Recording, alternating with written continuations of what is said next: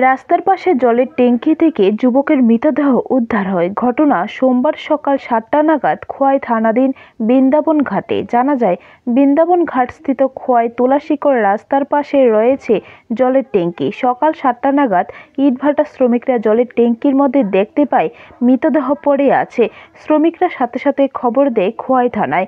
Police ঘটনাস্থলে গিয়ে প্রাথমিক তদন্ত শুরু করে। মৃত ব্যক্তির নাম সন্তোষ গৌড়। বয়স তিরিশ বছর।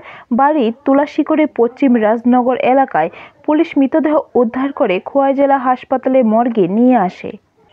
আজকে সকাল অনুমান সাড়ে ছয়টার দিকে আমার মোবাইলে একটা ফোন আসে যে বৃন্দাবন ঘাট, বৃন্দাবন ঘাটে একটা নাকি আননোন আনআইডেন্টিফাইড মৃতদেহ পরে রয়েছে।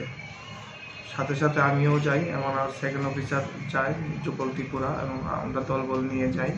তো ওইখানে গিয়ে দেখি বৃন্দাবন ঘাটে। রাস্তার পাশে একটা জলের ট্যাঙ্কি রয়েছে। ওই জলের ট্যাঙ্কিতে তার মৃতদেহটা আমরা দেখতে পাই।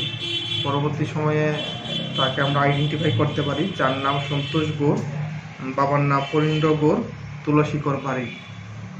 তারপরে আমরা একটা, এই বিষয়ে একটা অস্বাভাবিক মামলা নিই আর কি। বর্তমানে হসপিটালে রয়েছে এবং পোস্টমর্টম চলছে। ব্যুরো রিপোর্ট, খবর ত্রিপুরা।